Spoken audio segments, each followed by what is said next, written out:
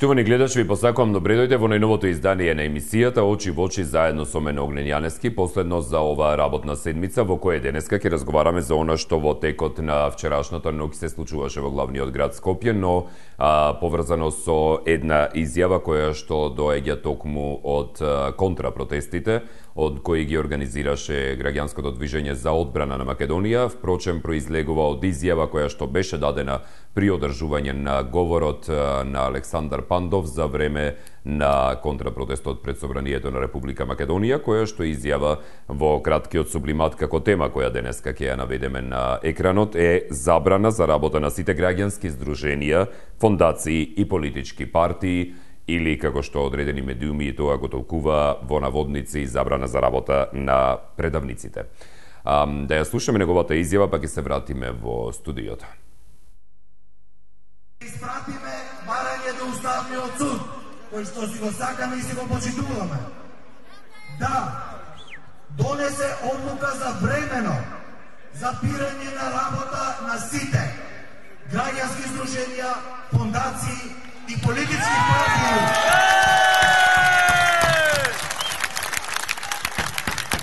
И политички партии кои што во моментот ја рушат и ја унисуваат Македонија. Невладени организации. Да за избори, не за заев и компанија. Во препознатлив декор, со патриотски песни и ора, поддржувачи на ВМРО ДПМНЕ застанаа како што велат во одбрана на Република Македонија. Само избори на 5 јуни ќе стават крај на кризата. Моќта е во народот и тоа е суштината на демократијата, затоа избори мора да има. Поддржувачите на граѓанското движење за одбрана на Македонија од пред Собранието на Република Македонија испратија порака дека народот повеќе нема да толерира деструкција и црни сценарија. Собрани од повеќе градови со организиран превоз пристигнаа во Скопје како што велат да испратат испратат јасна порака. Дојдов за да обстане Македонија. Денеска мораме да се преброиме за да видиме дали Македонија ќе обстане или не. Очигледно е дека ни се прават сценарија од надвор, но ние тоа мора да го спречиме, вели Никола од Тетово за Дојче Веле.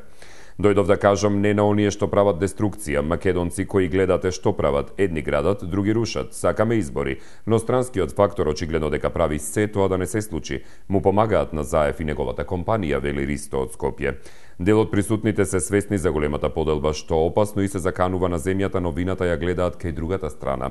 Апсолутно ова е голема циркузијада што и се случува на државата, која знаеме дека се диктира од надворно македонскиот народ. Треба да се обедини и да покажеме дека си ја сакаме државата. Македонија мора да излезе од ова сивило, а единственото решение е на избори. Да предизвикаме сите политички партиципиенти во државата, а посебно опозицијата да излезе на избори. Граѓаните се тие кои ќе кажат кој ќе раководи со државата, да гласаме, подобрите нека победат и нека ја водат државата во една подобра иднина, вели Драган од Скопје. Мотивот за овој собир според организаторите од граѓанското движење за одбрана на Македонија или скратено ГДОМ е да се покаже дека македонскиот народ е свесен кои и за какви цели и интереси ја втурнал земјата во оваа политичка криза.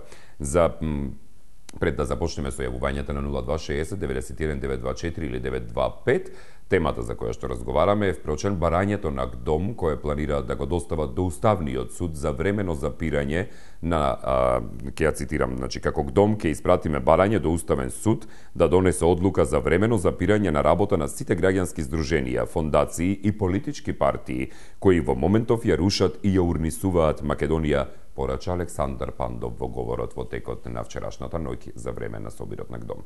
Добар ден. Добар ден. Ве слушам, повелете. А ова била тактика, Огњан, да се јавиш уште кога најавувате. Одна добив. Па така, јас секогаш тоа го кажувам на сите. На почеток како звоните, одма ќе добиете. Еве, кажувам дека вртам месец дена кога да ми е блокиран бројот на телефон. Ама ја најдовте тактиката сега. А тактиката одма била успешна. Ајде, повелете. Да, сега на темата. Значи, а, само уште едно заборави овој пандав да каже да се забранат и телевизиите што не се инвестирани и пари давани од владата. Само тие треба да постојат, бидејќи се знае од каде се диктираат темите и како да се дискутираат новинарите. Значи, уште тоа треба за предизбори да биде супер. Не владини да нема, опозиција да нема, не знам кој да нема, они само што ќе кажат да веруваме сите. Ние имавме и не толку таков систем, бидејќи сум живеела во тој систем, али беше едно партија Значи, не морав да бидам член на партија, ако само на презума морам да бидам член на партија. Сеги да и чистачка мораш да бидеш член на партија. Ако треба да се продолжиме сите на ВМРО, зашто го срушивме тој систем? Првин, тогаш ако не се градело, сега ништо не се гради. Каде е стара Скопјанка нама што се викаше? Тоа е културното наследство. Каде е нама? Ја е познам, ја е памтам нама. Значи, а, пластични операции цело Скопје. Треба да се уништат, а ГДОМ да, да ми каже кој го формираше и како се формира и кој го инвестира. Мене ме интересира оние автобуси кои ги плаќа. Ги плаќаме сите, огња. Сите ги плаќаме. И еднаш народот нека се освести. Не може толку автобуси никој да плаќа. И тие што не беа на работа, кој ќе им го плати целото работно време. Вака не било ни во тој систем тоа да им биде јасно. Први да се уништи тие плочи бетонски ќе ставаше тој пандав. Јас сеќам одеше лани од село у село. Сега у Скопје ќе доаѓа. Толку поздрав, немам, стварно немам зборови. Денеска во 6. Пријатно. Пријатно и да вас ви благодарам за јавувањето. Од име со следниот гледач. Добар ден. Добар ден. Ве слушам, повелете. Ова дом и неговата неговите ментори од ДПМН се повеќе заличуваат сами на себе.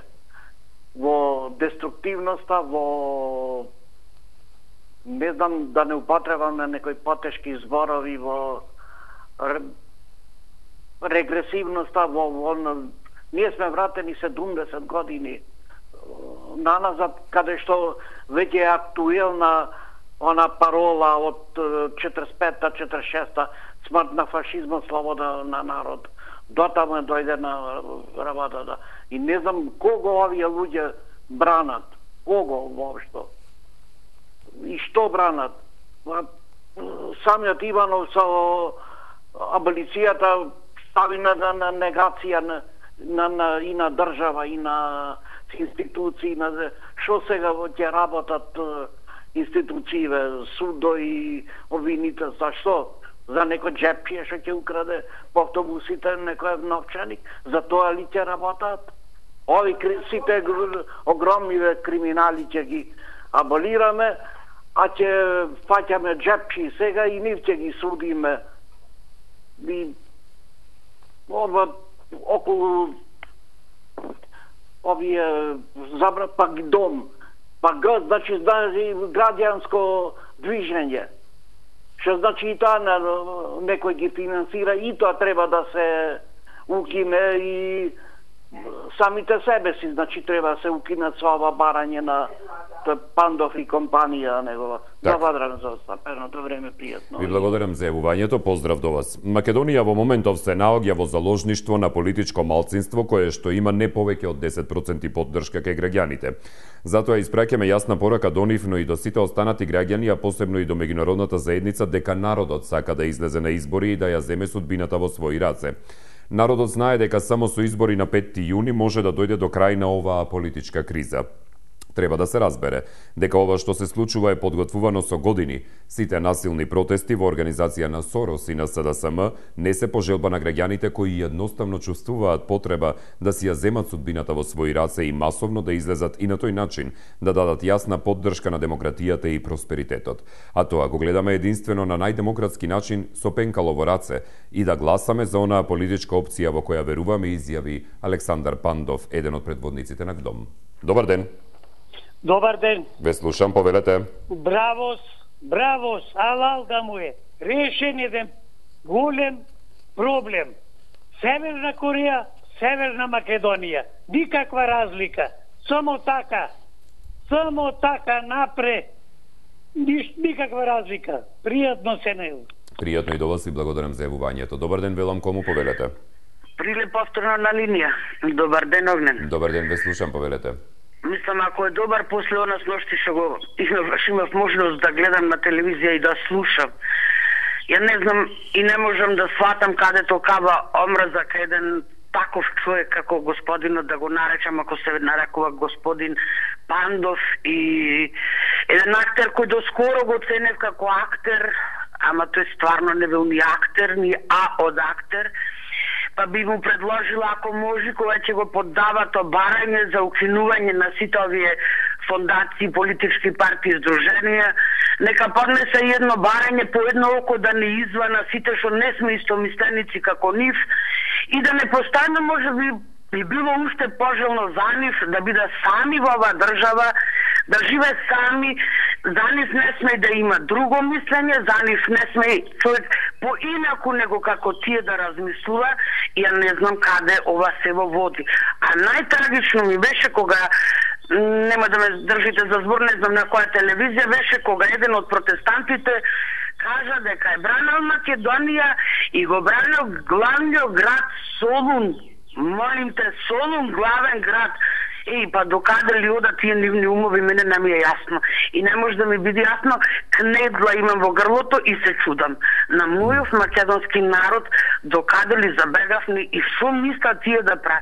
Онаков, онаква омраза, па Ма немаше нигдека во свето немам слушнато во нијелни протести што ги давале на телевизија. Секдека во свето постоа протести, власт и опозиција. А опозицијата е таа да му дува во врато на власта а не власта да дува во врато на опозицијата, овде кај на сето се работи однопаку.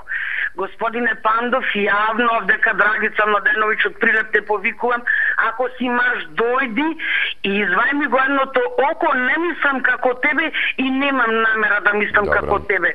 Пријатно. Пријатно и до вас и благодарам за јавувањето. Добар ден, велам кому повелете. Ало, добар ден. Ве слушам, повелете, добар ден. Благодарам.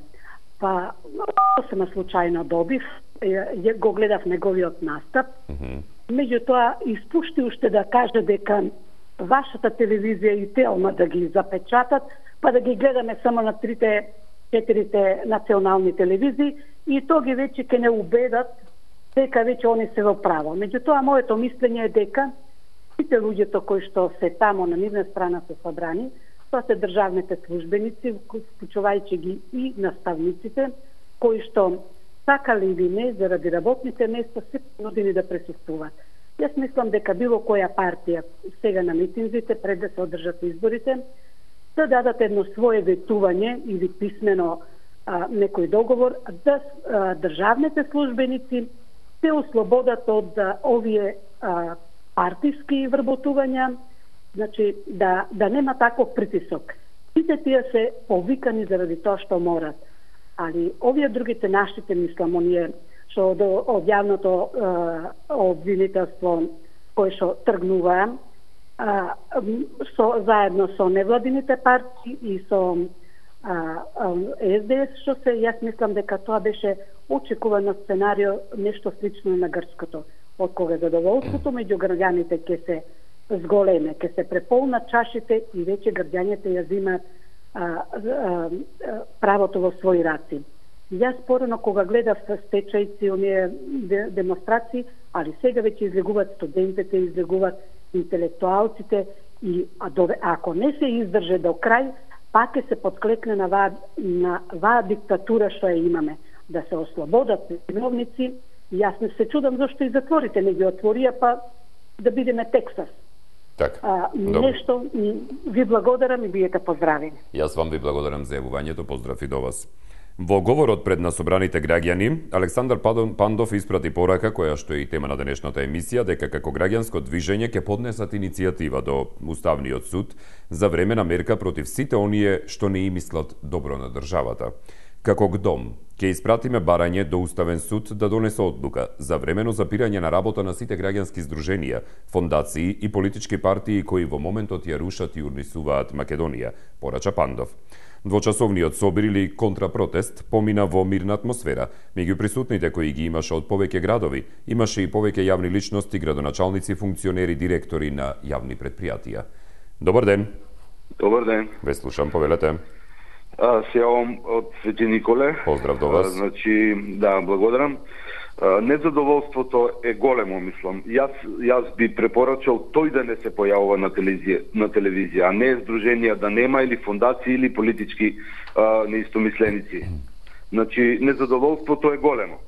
Огнен, ве почитувам, ве, ве почитувам емисијата, многу тешко се добива. А, се треба да направиме за доброто на сите нас да се потрудиме, значи да не дозволиме неистомисленици, а, притисоци и све остало да ни се случува, затоа што многу тешко се живее во Македонија. Многу тешко се живее во Македонија. Значи, не треба ништо да се забранува, секој да има право на свое мислење, секој има право да работи во ова држава, да живее нормално, меѓутоа тоа не е така. Верувајте, не е така. Јас сум 40 години, значи не можам да живеам од собствената плата, како што вчера беше ова и ова темата, малку ќе избегам од темата. Жал ми е што не можам да живеам и да, да го одржувам семејството по 20 години стаж. Мене ми е многу криво, се извинувам што бегам од темата, ве поздравувам, се најдобро. Јас вам ви благодарам за јавувањето. Поздрав до вас до Свети Николе. Дали имаме некој друг на линија? Добар ден. Да, добар ден. Ве слушам, повелете. Многу поздрав до тебе, Огне, и до. Длечи. Поздрав и до вас. Овој надпис што е раставен на, на екранот е многу така дирлив и многу скаклив е. Мгм. Господинот Александар Пандов, нема да ми замери што ќе кажам ова реченица. Ајде. Таа е психопатска личност. Тој има проблем со психиката. Не е проблем со нешто друго. Ти за да кажеш такви тешки зборови, да забраниш, пазете сега, до која до која а, глупост се оди, да забраниш невладени организации, партии, а прво и основно, да се разбериме. Господинот Михајло, овај, овај Тони Михајловски, Мгм. Даштевски, Оливер Андонов, па тие таму што отише таму, кој ги пуши? Пишете вие. На YouTube, видовте ли дека таму, кај што му делат храна, му делат, ова речи го, сендвичи, кока-коли и така натаму. Дојде ни од цела Македонија со 100 автобуси и дојде овде во Скопје да му кажат на македонскиот народ дека тие се во право, а овој спонтано народ што збира пре, да е сочува Македонија од урнисувањето на вркушката на Република Македонија. Ние, како македонци, јас да ви кажам отворено, имам и Линденес дедо, имам Вујко во Втора светска војна загинав.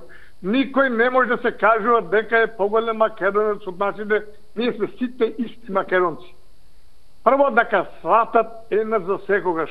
Јас еднаш го кажав, тој пак ќе го кажам. Сега во оваа ситуација беше а, исценирано, али не успеа затоа што а, другата страна кажав дека интелигенцијата е таму, нема украинско сценарио. Иначе сношти беа готови за тие глупости, али искам да ви кажам дека а, народот во Македонија е освестен и знае дека што сака. Прво и основно, нека не бараат тие избори на 5 јуни, нека ги а, ослободат сите оние работи кои се донесени во пржино. Да се отворат сите а, кривични пријави кој што правел и крадел, нека се направи избирачкиот список, нека се сведат сите оние пржински а, решенија, нема проблем македонскиот народ ќе оди на избори. Али Александар Пандов и ве молам а, вас и како 24 сати и во Телма туку го вика на тие а, а, топ теми и така натаму. Прво и основно, дајте малце игрирајте го, затоа што тој човек кој ќе повикува, пазете, тој е оштар, оштар тон кој повикува на поништување. Тоа е, знаете ли што е тоа? Врховизмот на Бугарија што го правеше со Ѓорче Петров, Јане Сандовски, Пере Тошев, Гоце Делчев, истата проблематика е сега, Така. пошто јас ти а, ме знаеш кој сум и што сум, Мгм. и знаеш за таа проблематика сум е работел, Мгм. прво и основно, сега е борбата помеѓу македонците и врховистичкото крило на Ванчо Михајлов во Македонија. Огде, Така. треба ние како македонци да се чуваме оваа Македонија. Добро, добро. Ви благодарам за јавувањето. Поздрав до вас и убав ден. Избори на 5 јуни, стопирање на деструктивни сценарија и иницијатива до уставен за привремена забрана за работа на одредени партии и невладини организации. Ова се дел од пораките кои граѓанското движење за одбрана на Македонија, нивните приврзаници, но и симпатизери на ВМРО ДПМН ги упатија на протестот пред собранието. Избори на 5 јуни, стопирање на деструктивните сценарија и иницијативата. Од опозициониот лидер Зоран Заев пак побараа како што велат да престане со деструктивните сценарија и да излезе на избори. Добар ден. Добар ден. Ве слушам, повелете. Огнен, Да. во право е Пандов. Мгм. Треба треба да ги укинат. Но да ги укинат Пандов, овој Михајловски, да не зборам оној што ги врти очите таму со интересно презиме, Мгм. третиот, што ајде да не кажам му треба помош и имаат имаат уставен суд со а, специјалисти што може тоа да го сторат. Тука е Јосифовски, тука е Маркудова. Така да тие се спе, специјалисти ете за таква за такви уставни одредби. Али нив ќе ги укинат, нив треба да ги укинат. Не овие граѓански организации што бараат парчеле. Не гледали овој народ, бре. Како делат сендвичи од чив джеп. Они да ги, они да не да, да ги плаќаат тие сендвичи. Срам да им е. Да видиме дали ќе ја укинат. Ајде. Ми благодарам за јавувањето. Поздрав до вас. Дали имаме некој друг на линија? Добар ден. Здраво Македонија. Ве слушам, повелете. Очистко враковенство. Повелете. Одлична е темата. За дебата, ама дебата отворена да биде. Со факти, со аргументи. Тоа го тражеме граѓаните. Значи, огромна е разликата, луѓе. Видовме пред два-три дена и продолжува рушење на државната имовина, која цел овој народ ја градел. Како ја градел? Што ја градел? Кој провизии взимал? Не го интересира народот. Тоа останува за веки веков за Македонија. Сакате да кажете дека дека неважно е доколку некој украл пари од народот, да речеме сторил криминал, а при тоа изградил нешто, дека криминалот тогаш станува неважен? Само фактите имате специјално обвинителство. Не, не, јас ве прашувам доколку е Да, да, така, да. сега хиперболизираме, доколку е да, така. Да, да, контекст, да, да збореме отворено. Значи имате специјално обвинителство. Не, не, ама вас ве прашувам, хипотетички гледано, доколку некој направил криминал за да изгради нешто и при тоа испрал пари преку тоа градење, дали во тој случај бидејќи е изградено нешто за веки векови, криминалот станува неважен? Тука е специјалното обвинителство со факти нека докажи. Ама вас ве прашувам, хипотетички зборуваме бидејќи вие тоа го кажавте предходно. Ама е, огне збореме за фактите и моменто реално. Да, ама вие рековте без без разлика на тоа што некој зел провизии за да го гради тоа, тоа било за веки векови. Дали тоа значи дека криминалот би станал неважен хипотетички гледано? Криминало е отворено, е отворен за било кој.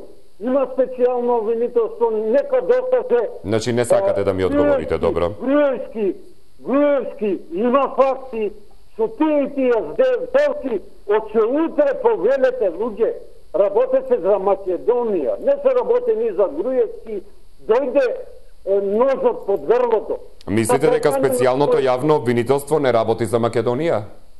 Молим?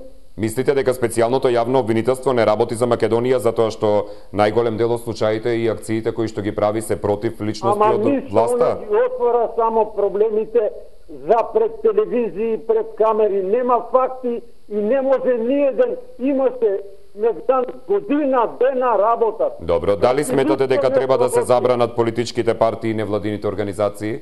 Е, тоа да допреме. Ја беше ми уводот и не дозволував да, да се доискажам.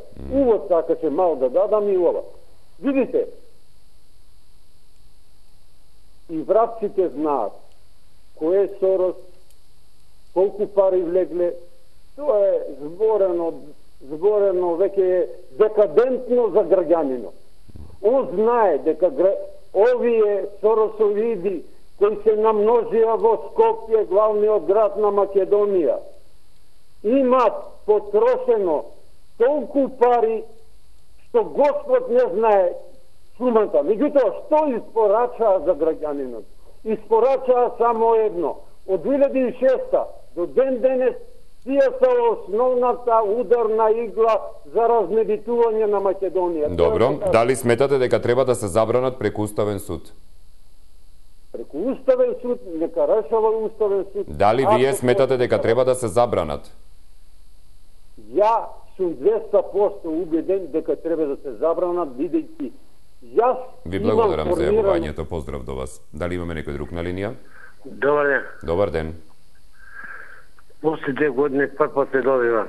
Мило ми е, повелете. Е, сакам да кажам е, предходниот гледач што викаше. М. Они гласа на предходните избори 450.000 за ВМРО. Каде се уште милион и пол луѓе во Македонија? Што мисле тони нивна е Македонија, па што сака да работат тони со Македонија? Не е нивна Македонија. Одиме до крај. До крај. Не може они 400.000 излегли на избори и нивна е Македонија. Не може да така. До крај ќе одиме, да видиме до кај ќе стигнеме. Ви благодарам пријатно. Ви благодарам за јавувањето, пријатно и до вас. Според проценките на граѓанското движење за одбрана на Македонија, на протестот синоќа, кој беше силно обезбедуван, помина без инциденти и проблеми, собрани биле околу 70.000 граѓани. Пред собранието евидентно беше присуството на граѓани од повеќе градови на Република Македонија. На протестот му предходеа своевидни контраверзи, откако дел од медиумите објавија дека вработени во државната администрација насилва, насила биле вадени од работа за да присуствуваат на протест протестот. Добар ден. Добро вечер. А, добар ден, се уште, ма добро. За мене е добро вечер, затоа што све е стенато во држава. Аха, добро. Добро. Повелете. Е, лака се, сакам да кажам. Секоја чест на дом, ги поддржувам премногу, затоа што го покажа своето право лице. Mm. Како што го покажа господинот Иванов, која политичка партија ја поддржуваат, исто го покажа и дом. Маската не може вечно да трае. Се разоткриваат луѓето. Со то, значи, гдон го покаже лицето дека го брани целиот криминал, целата ова мафијашка структура. Не сакам да бидам вулгарен, ниту со по која моја реченица не сакам да имам mm. испад. Значи, ова е чисти доказ, факт, Иванов и Гдом, целата се вршкупската, што Никола ја држи Груевски во неговите раце. И му служит како пиони служат. Уште една информација, неформална, Ајде. можам да кажам слободно од извори, дека од дом за секој нивни говор се платени по 1000 евра. Мислам, то не ме држете за збор, то, то е слушнато од луѓе. Иначе не зависам од никоја партија и не сум член во никоја партија. Така што не може дом да говори во моје име, дали јас ќе гласам и мој, мојот став. Прв пат ве добивам, прв пат се јавам во ова емисија, што премногу ја ценам, премногу ви благодарам и ќе ве замолам една сугестија. Ајде. на некој особи што ја одложува темата, да му го скратите малце до го, го, говорот, за да можа и јас како граѓанин да добијам право на збор. Ви Добро. благодарам многу, секој добро. Ви благодарам и јас за јавувањето, пријатно до вас и до сите оние кои што се вклучија во текот на изминатата цела седмица, ќе речам со оглед на тоа дека беше тешка, ќе бидат веројатно уште потешки следните, но дека се развива ситуацијата. По однос на темата денешна се поставува само една единствена, мислам не е единствена, но е една од неколкуте дилеми по однос на барањето за времено запирање или практично забрана за работа на граѓански здруженија, фондации и политички партии кога во исто време велите дека ќе поднесете иницијатива до Уставниот суд за забрана на политички партии, кои исто така пак ги повикувате да излезат на избори на 5 јуни, Истовремено барате да речеме забрана за работа на граѓански здруженија меѓу кои спаѓаат и здруженија кои ги наблюдуваат пат го наблюдуваат текот и спроведувањето на изборите, а истовремено барате избори, малку нештата се контравезни и спротиставени во однос на ставовите. Зошто би барале забрана за политички партии, граѓански здруженија и фондации, кога истите тие ги повикувате да излезат на избори? Пријатно!